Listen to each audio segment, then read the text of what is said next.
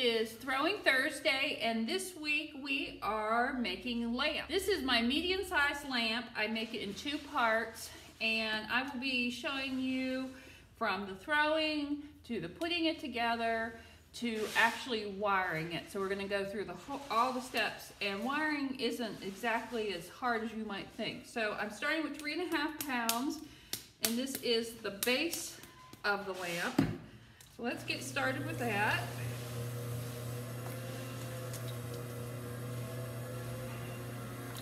And I do a more traditional style lamp base. And three and a half pounds is just a nice, manageable amount of clay. At least for me it is. So let's get this centered.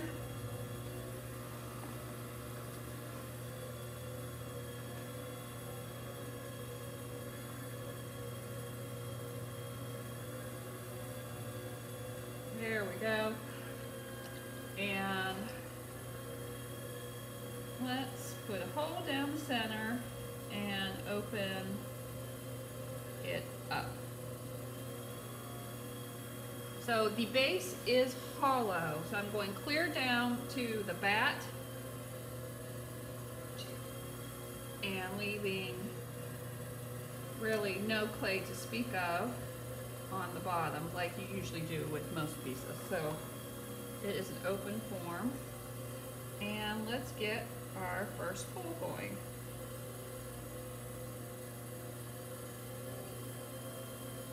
So these lamps are on our website, these all three sizes, and the medium sized lamp sells for 200 and we have some beautiful copper shades that we sell that we don't make ourselves that are absolutely lovely for people who have um, rustic or mountain homes. And since we're in the mountains of North Carolina, that's appropriate for our area. So that's why we carry those.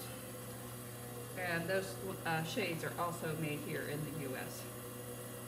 So, all right, let's get some tape out of this guy.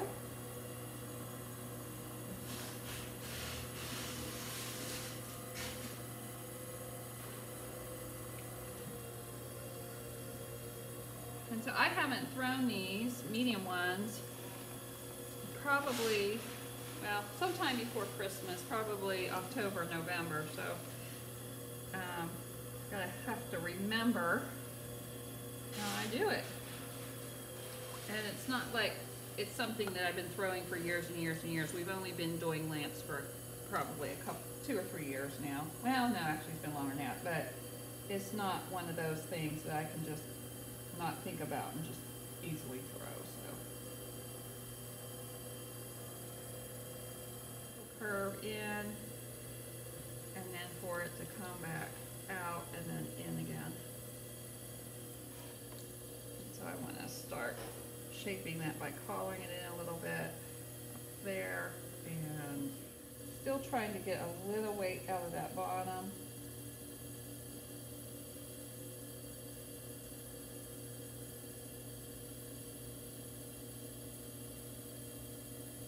And you just gently bring your hands all the way up to try to keep a consistent form with an even spiral all the way up. That's what we do. So I'm going to take some of this water out of the bottom here. I want to get it too wet while I'm working on it. And then I'll share with you why I do um, a separate piece and it's all about the wiring, why do a separate piece for the top. And it is all about the wiring. So it's a little tip that I created that I'm going to share with you. I think I'm going to bring this in a little bit more to make it a little bit more graceful. And then slowly bring it out. And slowly bring it back in. Okay. We're getting, all right. I think I might use my rib a little bit to get this shape right here the way I want it. See how that changed that just by pressing that rib against that?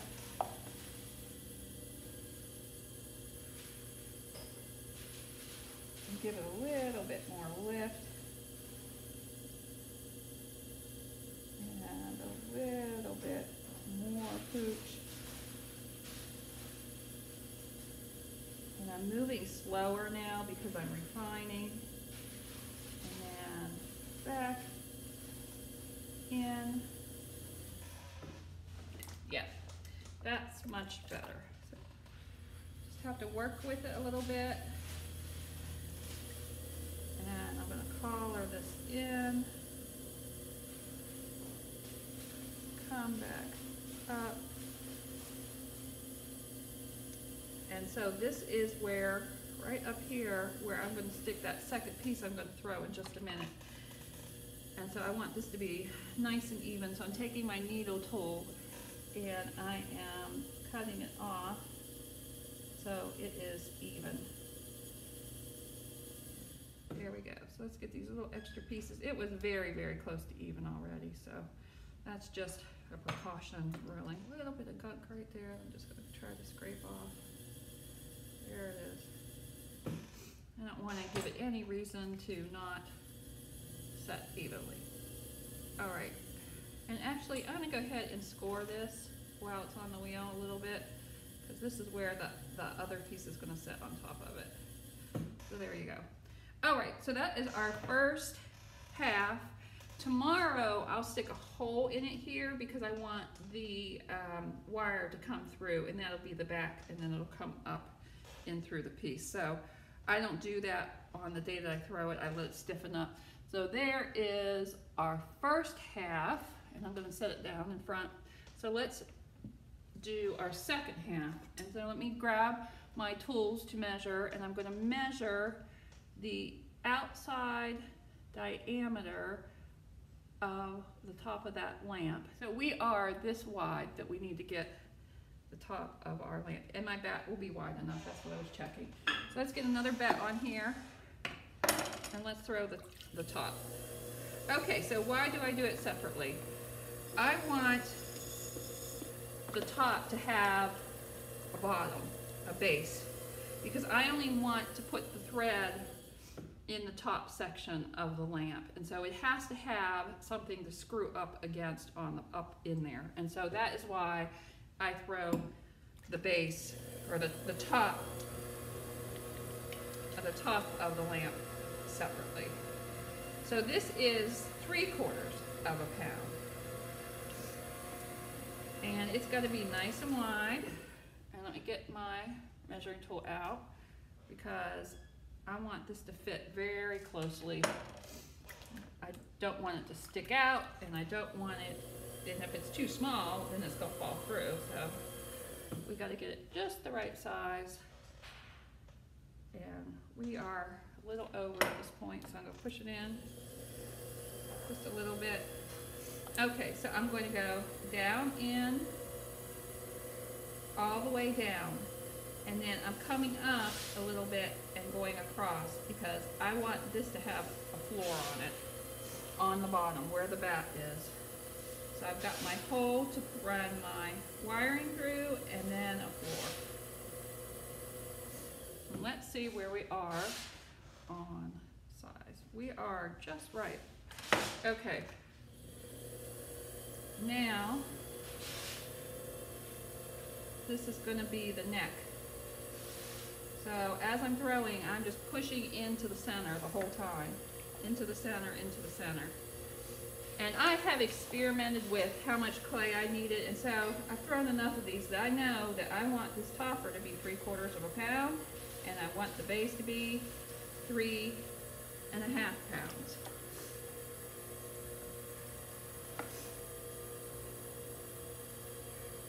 Okay, I'm gonna measure again because now's the time to get this just right. And I'm loving that.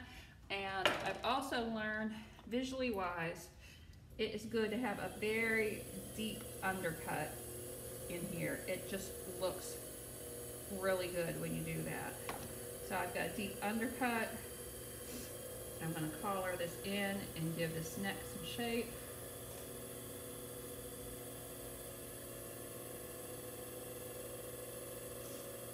And then I like to put a detail here And a lot of times I'll just use my thumb and I can put the detail there. And then again, my net goes in and back out. And I also stick a little round brass fitting on this, and so I've got to make sure that that's the appropriate size. And it doesn't have to be exact, but um, it needs to be close. All right, so I'm going to cut that off with a cutting wire, and let's take a look at what I have here now. All right, so here is the base that I just threw. And here is its little topper, and they will tomorrow, if they're leather hard, get put together, and then they will dry really slowly. And you can see that I've got a couple of different shapes here. These two are more traditional, and this one's a little bit more modern.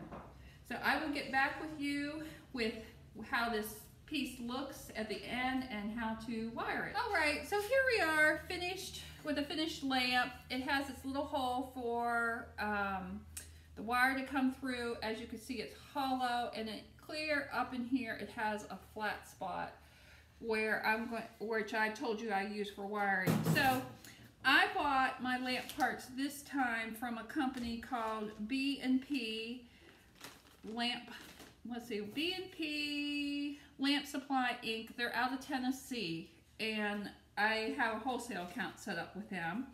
But you can even buy lamp parts Amazon. That's it, Amazon. Okay, so I, I buy a kit and my kit came with a harp and there's different size harps. For this size lamp, which is a pretty nice size lamp, I want at least a number eight or eight inch harp. So that's what I'm gonna use. My lamp kit did not come with the thing that the harp sits in. So I always have to buy some of these. They're called saddles.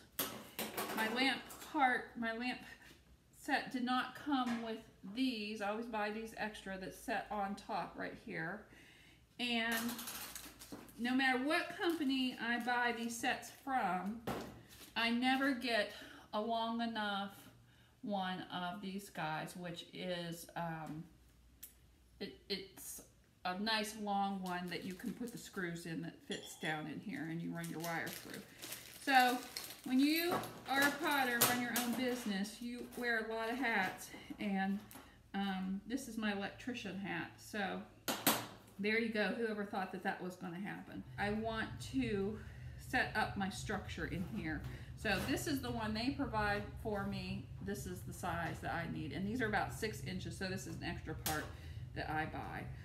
And I like to put one of these guys on here. It, it's like you can just get a big washer, but I bought a bunch of these cheap. So I'm gonna put this on here and a screw like this.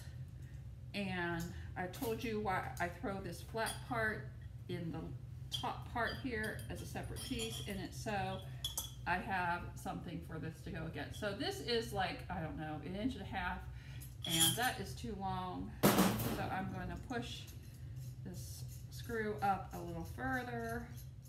Okay, so that's probably about three quarters of an inch, and that's about how much I like it to stick up from uh, the top there. Okay, so the harp goes on top of there. And the next piece that goes on here is the base for the wiring. So that screws on there. Every one, every set is a little different. This, sometimes I have extra bolts in between this. Um, this set does not have that.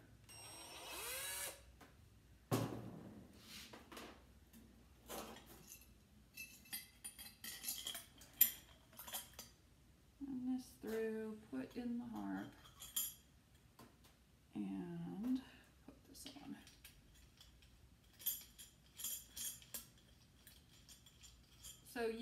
this to be nice and tight, the whole thing, because it's easily can come loose. And so I work really hard to get these in here really, really tight. And a lot of times I'll actually stick an extra bolt or two on the underside so they are tight and they stay tight. So that's what I'm working on right now, is getting that tightened up in there.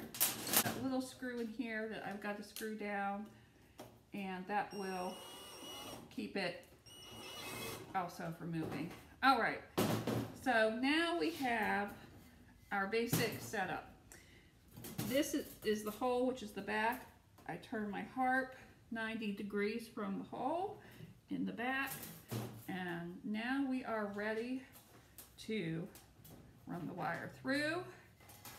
And you want to tie a knot, so I always see how much length it's gonna take for me to run through there. And you tie a knot that stays on the inside of your lamp. So let's get that knot in there. And what that does is that keeps this wire from pulling anymore. So if somebody's trying to stretch the wire to plug it in, it can only stretch so far and that it hits that knot. Then you need to take the wire and put it through that taller thread that I had just put in there. So that is going through the thread and it's going to come out the other side. Okay, so there it is. Um, and then I will adjust my knot there to make sure it is the right length because um, I do it a little loose so I have the ability to adjust it. Okay, so here are my two wires that I tie together so it would go easier through that thread. So I'm going to untwist those now. And here comes the actual wiring. So here is this little part here and it's got two sides on it. And so one of these wires actually has a stripe on it and one does not. So the way I remember which one goes where is stripe goes to silver, SS, stripe to silver.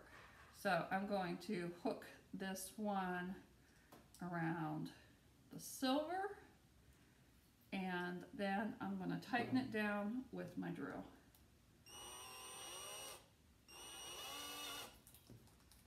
and I want it really, really tight. So that's why I use my drill.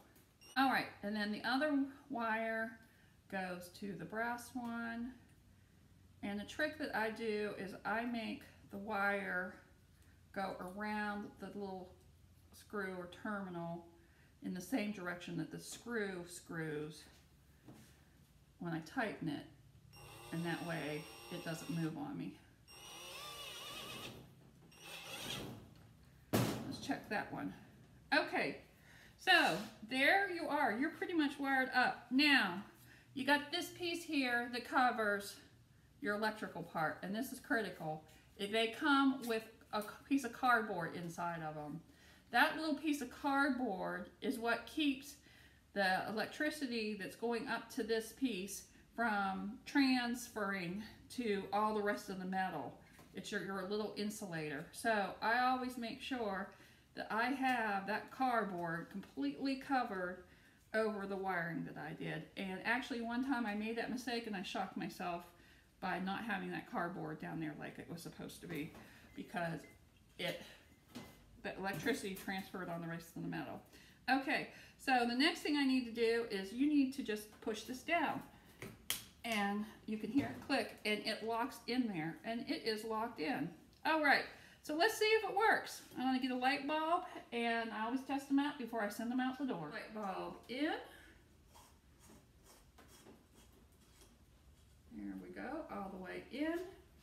And I'm gonna plug our light in and let's see if it's gonna turn on or not. Oh, there it goes. And the switch works and we are good. All right, so the last thing we have to talk about is our harp. And this easily goes on there. Um, I honestly, a lot of times, like just leaving the plastic on the harp and let the customer take it off once they get it. But it just fits in there. And these little guys slide down over it. And then you have a finial that screws on the top. So your shade goes over it and it screws on the top. So I grabbed one of our copper shades that we buy. This one has trees and a bear on it, which is appropriate for the mountains. And an eight inch harp, I think, is just right for this size lamp. And how I decide is I want this to ever so slightly cover up the brass um, parts or all the mechanical parts of the piece. So there is the way it will look. And then you screw your harp on, or your you screw your fitting on tight to your harp and turn on the light and there it is. So this here is one of our large lamps. It is actually going out to a customer in Alaska and these sell for 250 it is in our green glaze combination. If you have any questions about what I talked about as far as making the lamps putting them together let me know and we will be happy to answer those for you. Well until next time we will see you next Thursday for Throwing Thursday. Thanks for joining us. Bye